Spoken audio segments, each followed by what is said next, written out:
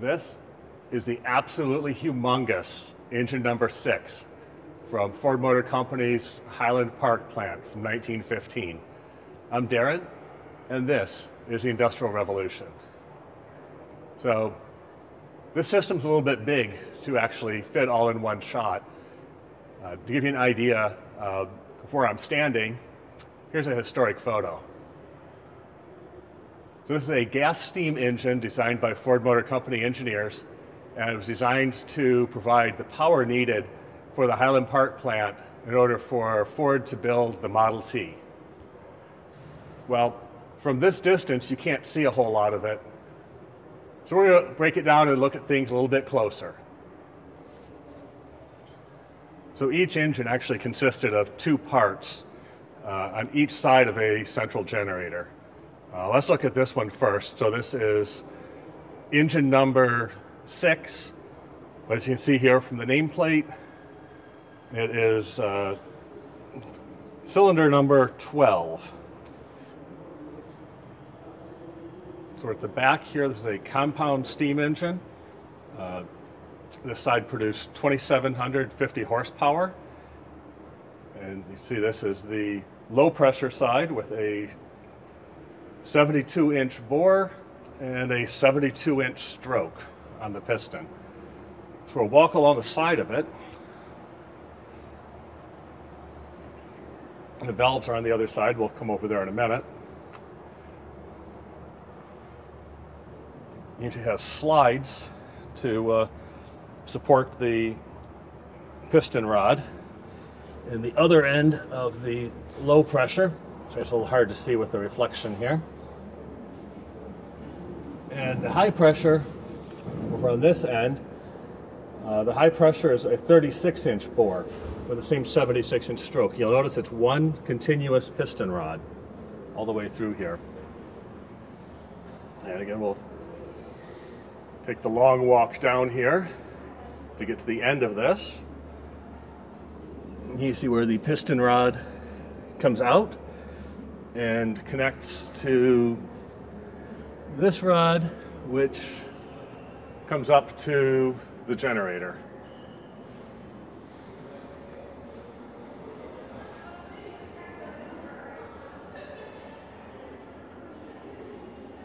Looks just like a typical steam engine, except it's just a wee bit larger. Let's go take a look at the valves.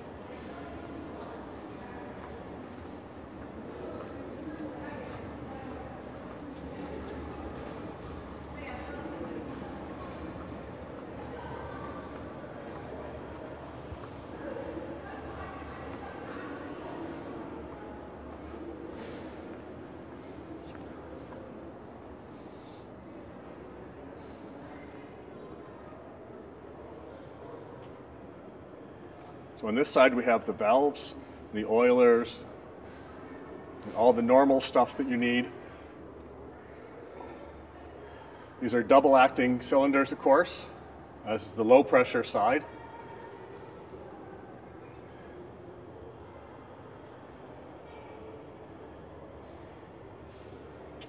The steam and the exhaust are handled below this, uh, where I'm walking right now, although it's on an alcove here in the museum. Originally, this was actually the ground floor, as you saw in the historic photo. And here's that slide again to support that piston rod. And I come back over here, we have the high pressure uh, steam side. This long shaft running down here is just to keep everything synchronized.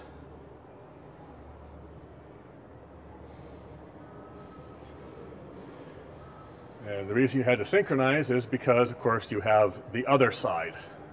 Let's take a look at that.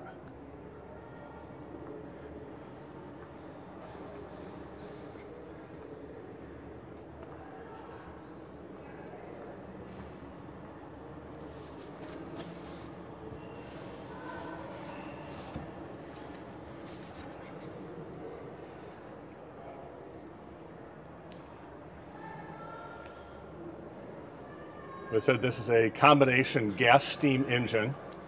Uh, this is cylinder number or, or shaft number 11.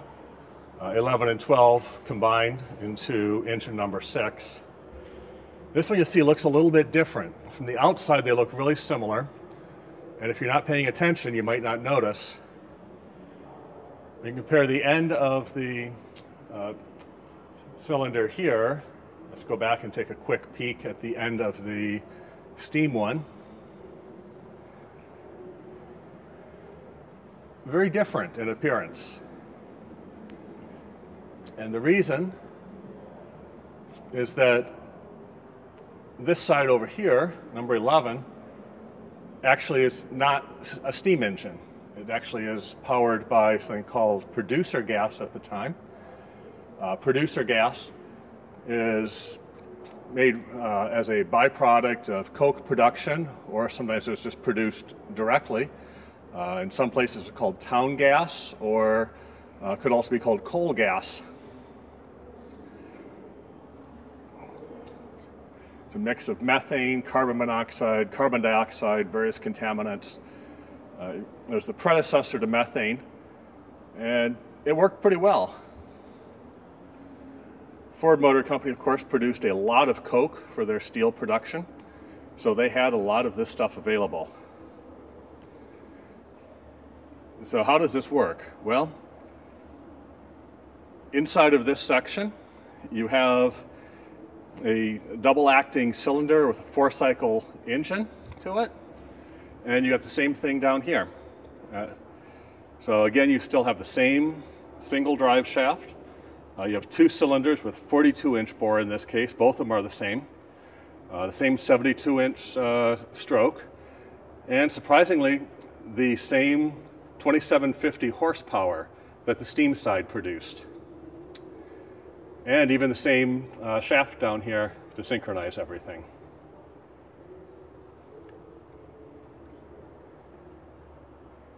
So when this was in operation, these are your main controls for this one engine. Remember, there were nine of these at the plant.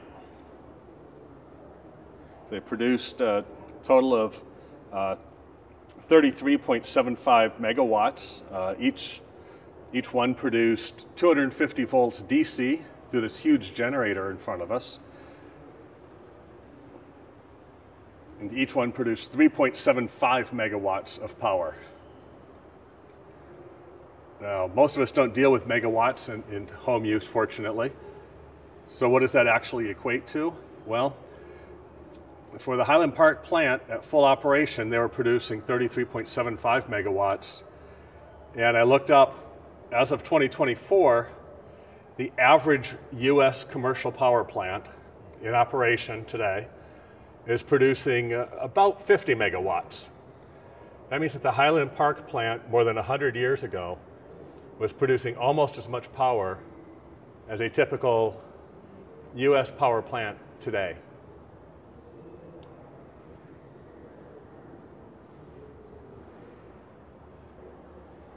you have all the gauges so that the operator can tell what's going on with this engine. It's important to keep track of exactly uh, what your pressures are, your speed, fuel intake, fuel consumption.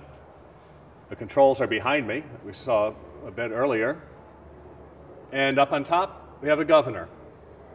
Very similar to the Watt style governor.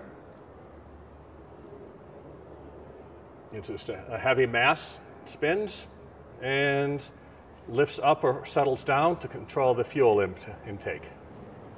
So this would have been the basement in the Highland Park plant. It's actually the main floor here at the Henry Ford Museum in Dearborn. The bottom half of the absolutely humongous uh, generator here. Where this is a DC generator, not AC. So Model Ts were all built with DC power. ropes connecting things that handled timing, giant flywheel on the outside and generator on this side. Flywheel uh, being extremely heavy helped to maintain the exact uh, speed. So you had a consistent speed, which gave you a consistent electrical power. Speaking of electrical power, here's the switches to switch it in, on and off. Is it circuit breakers? They uh, direct power around the plant.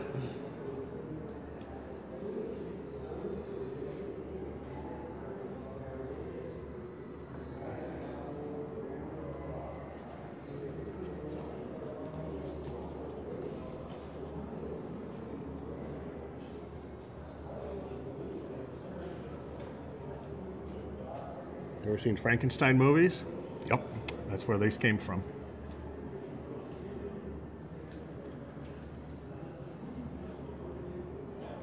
Again, sorry about the glare. And right behind the breaker panel, we have the primary electrical distribution for the system.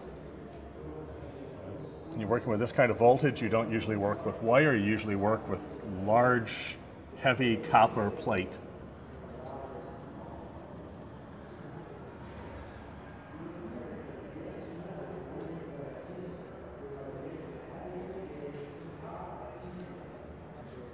Here we get a little bit better look at the generator. Again, this is the basement side of the generator.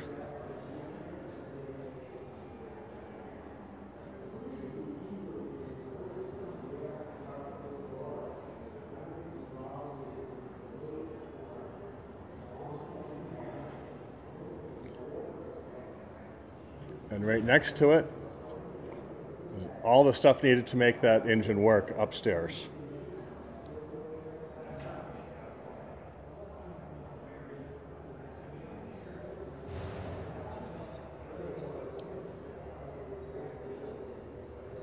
We have the connecting rod running along here. Uh, we are under one of the two gas cylinders on this side with the valves that control it. The fuel in and the exhaust out. Obviously the exhaust pipes here, the fuel in the center.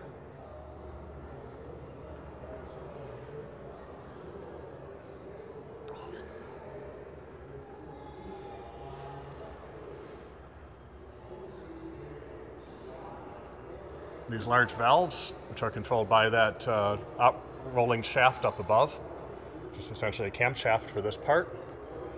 Uh, those valves are essentially not too different from the valves in your car, just a little bit bigger.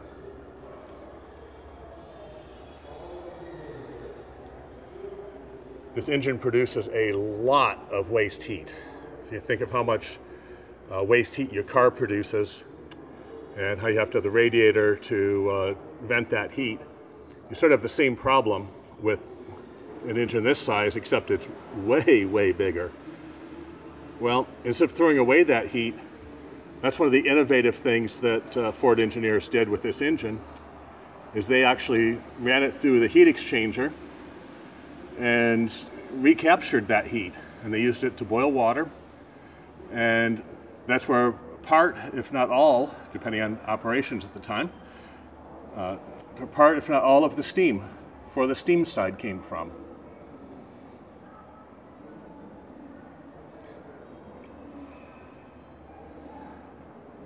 You see the heat exchangers.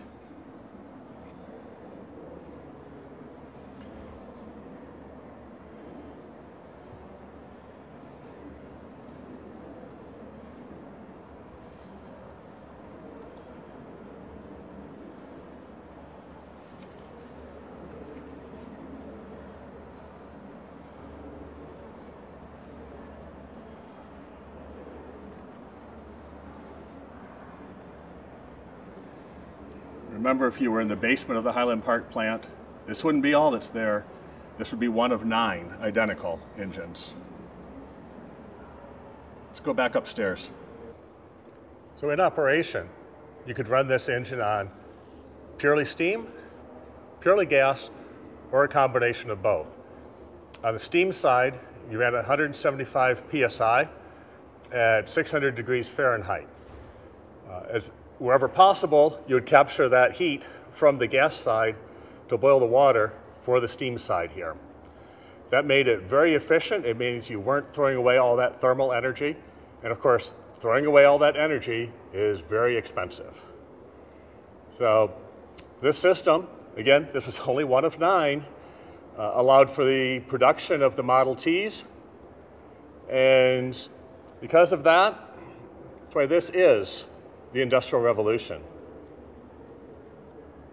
Before you go, I do need your help. There's two things you can do. Number one is help YouTube get more people to the channel. Easiest way you can do that, completely free.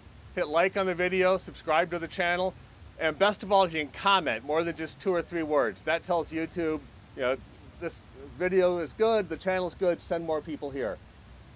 Second thing you can do, each of these videos ends up being pretty expensive to actually produce.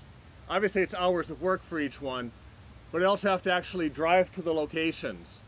And if it's far enough away, I have to spend a night in order to do all the on-location filming that I do for these videos that I think is essential for the videos.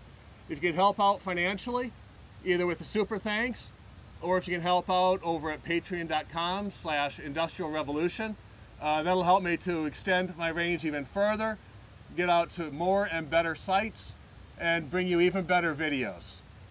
Thanks for watching. Look forward to seeing you next time.